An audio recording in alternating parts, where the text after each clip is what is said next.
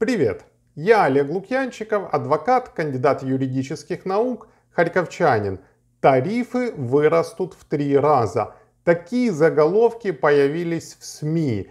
И после того, как прошла такая первая волна нашего страха от того, что действительно тарифы могут вырасти в три раза, что мы всегда можем ожидать в принципе, да, тем более в стране, в которой идет война, мы увидели опровержение. Опровержение, которое выдало Нафтогаз и выдало правительство, что, мол, нет, ничего такого не будет.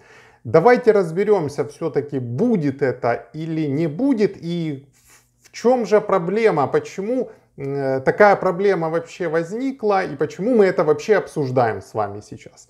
А, во-первых, нужно начать с того, чтобы вспомнить, что правительство Украины э, разработало законопроект, который называется следующим образом. Об особенностях регулирования отношений на рынке природного газа и в сфере теплоснабжения – во время действий военного положения и дальнейшего его восстановления. И вот именно этот закон стал причиной э, того, что появились такие заголовки. Если обратиться к этому закону, то мы увидим следующее. Мы увидим то, что нас может несколько успокоить, а, почему? Потому что уже в первой статье, как мы видим, а, содержится следующая информация. Ну, во-первых, сама статья, какое классное название имеет, да, мораторий на а, повышение цен, тарифов на рынке природного газа и у сфере теплопоставок. Как мы видим, раз мораторий, значит, что мы понимаем? Что есть некий запрет на повышение цен.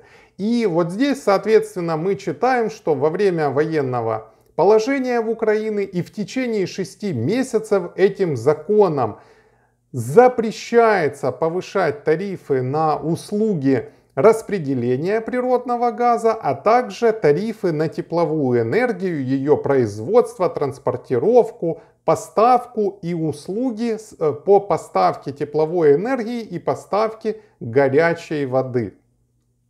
И первое наше э, ощущение, вот да, первый раз, когда ты читаешь это, думаешь, вот классно, точно, все, мораторий, значит, будь уверен, никакого повышения цен на газ и на тепло точно не будет. И, в принципе, это правильная мысль, но частично. Почему частично?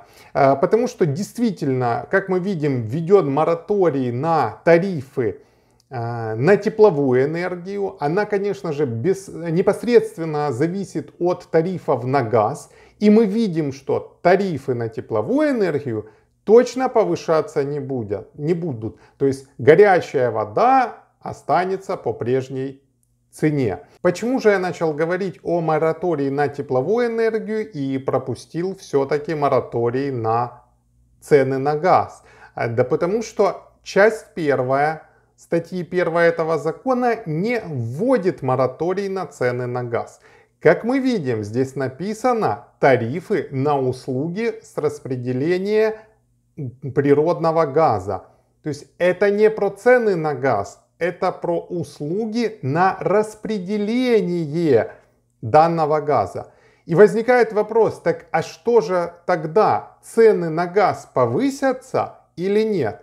Ответ мы находим – уже в части второй данной статьи. И там написано следующее, что в течение действия военного положения в Украине и в течение шести месяцев после месяца, в котором его будет прекращено либо отменено, цена на природный газ для э, бытовых потребителей не подлежит увеличению от цены, которая была установлена Э, по состоянию на 24 февраля 2022 года.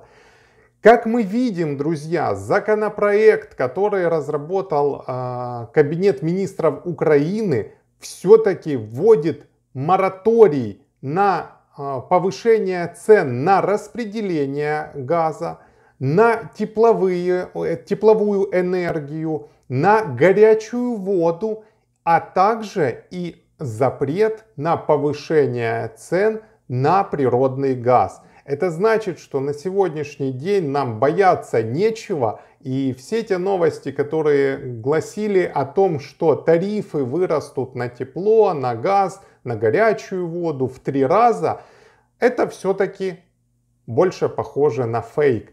Э, это то, что не соответствует тексту того законопроекта, который разработало правительство Украины.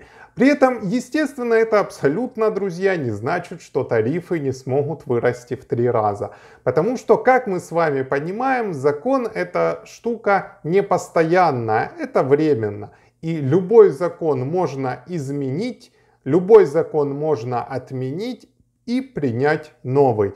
Но пока то, что предлагает правительство, оно несколько ну, такое успокаивающее, да, для нас. Э, новость такая нас несколько успокаивает, потому что мы понимаем, что в принципе в ближайшее время, по меньшей мере, тарифы на газ и тарифы на тепло повышаться не будут. На этом все. Если у вас есть какие-либо вопросы, задавайте их в комментариях. Я же вам желаю удачи, добра и мира. Пока!